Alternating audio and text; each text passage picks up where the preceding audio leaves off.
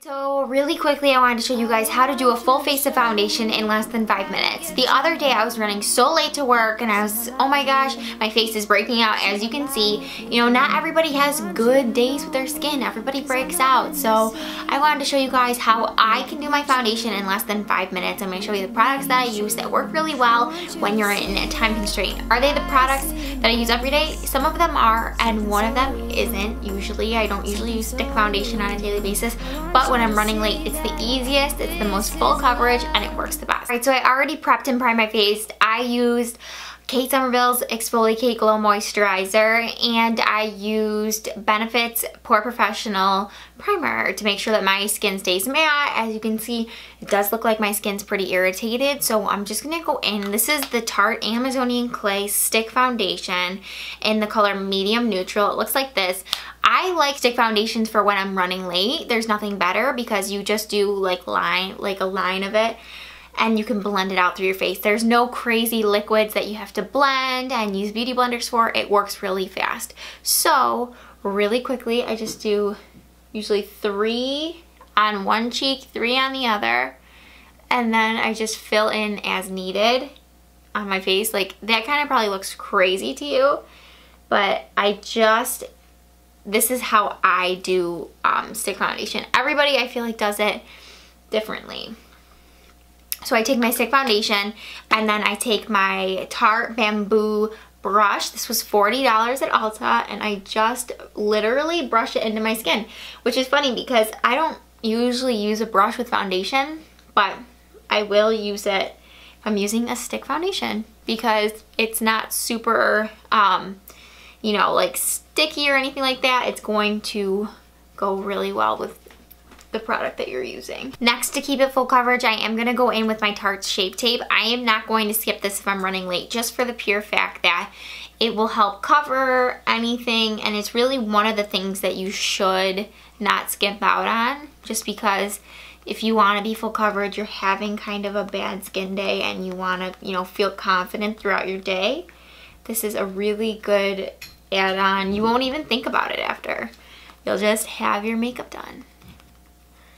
You'll be like, wow, I'm so glad I put on concealer because if I didn't, I don't feel like my foundation would have looked this flawless or anything like that. Next, I'm just gonna set my face with Makeup Revolution's Illuminating Fixing Spray. I set my brush also with the same. I simply take my Becca um, Champagne Pop Highlighter because it's one of my favorites. And if I'm running late, I don't care. I still need to glow. Like, I cannot not glow. Look at that. That's so insane. That's only two um, swipes of it. And it's crazy because you just don't realize what a difference a little highlight can make on your face. And the reason I'm getting such an intense highlight is because I wet my brush. Do the milk mustache.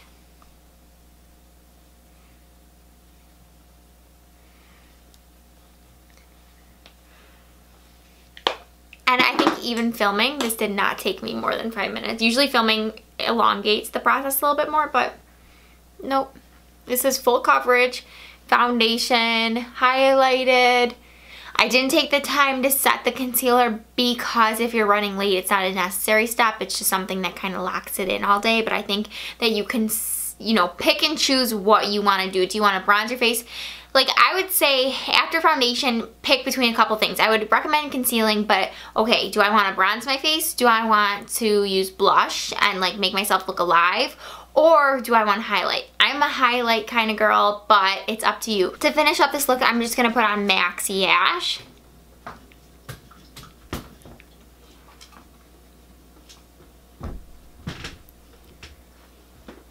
It's hard for me to really love lipsticks that are not liquid.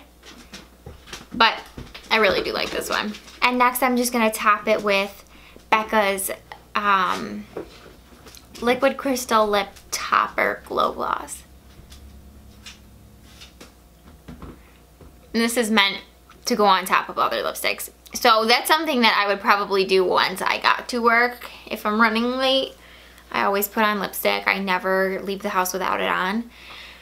Um, but it's kind of like I said, your personal preference. What do you do? Because I find that I spend too much time on my eyeshadow and my lashes that by the time I get to foundation, I'm like, crap, I have five minutes where I have to leave the house and my face looks like a hot mess. So it's really up to you. This is just a nice look to make you look alive, make you look, you know, kind of radiant, glowy, and get you through your day full coverage. You're not gonna shine, you're not gonna do any of that. You're gonna be all covered and you're gonna just feel so much better if you take that extra five minutes, even if you're running late, to kind of conceal and do whatever you want. Whatever makes you feel best, whether it's highlighting, bronzing, putting on blush, you know, you gotta pick your poison.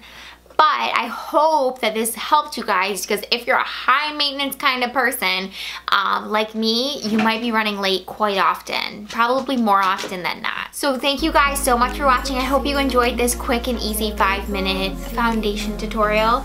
Um, let me know what you guys want to see more of, what you want to see less of. Comment down below. Give me some ideas. I love to hear back from you guys. Um, I find it very interesting and I love when people comment and just let me know what they thought of the video. So be sure to follow us on social media. The biggest one right now is Instagram at X-O-M-E-L-L-A-B-L-O-G underscore, Xomellablog underscore.